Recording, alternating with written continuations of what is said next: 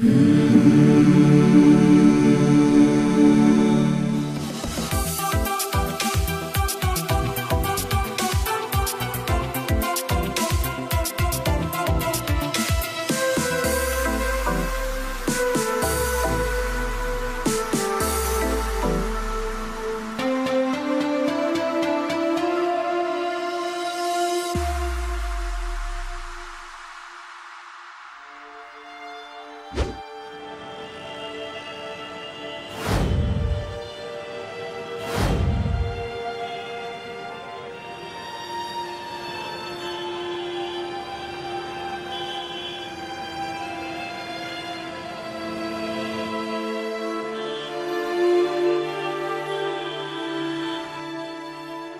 Aunty aunty ఆకలిస్తుంది ఒక పది రూపాయలు ఇవ్వరా?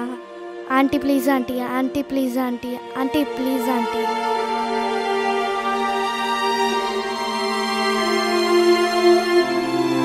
అన్న అన్న ఆకలిస్తుంది ఒక పది రూపాయలు.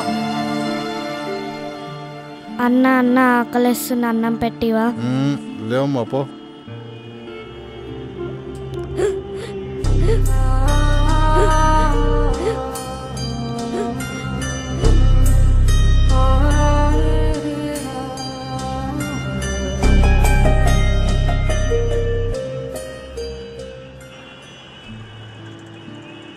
బాబు జెండా ఎంత?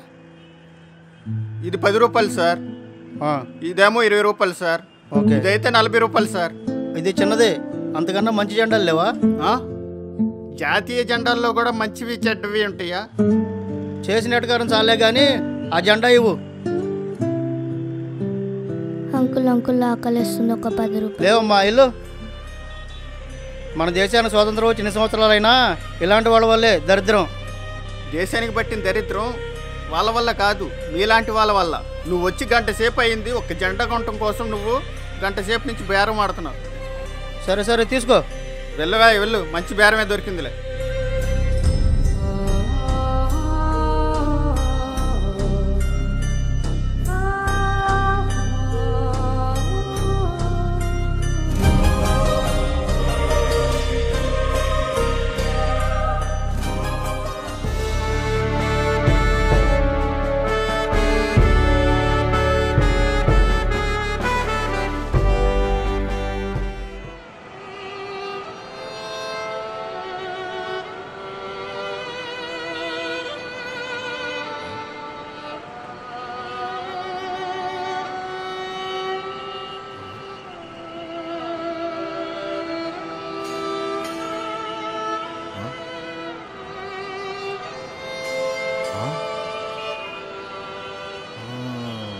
అంకుల్ అంకుల్ ఇది తీసుకొని ఒక పది రూపాయలు ఇవ్వరా?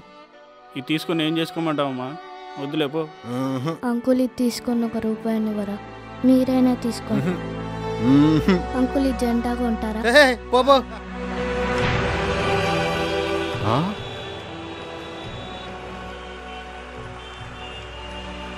మ్మ్, మ్మ్.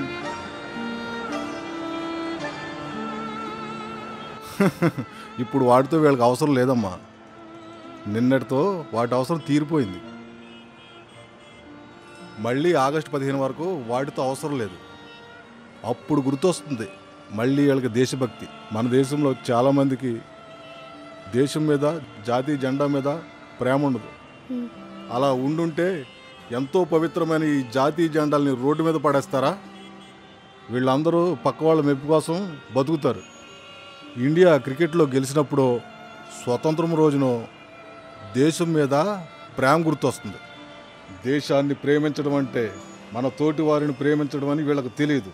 దేశంలో ఎవరు ఆకలితో అలమటించకుండా ఒకరినొకరు గౌరవించుకుంటారో అప్పుడే నిజమైన స్వతంత్రం వచ్చినట్టు. రామ్మా దా.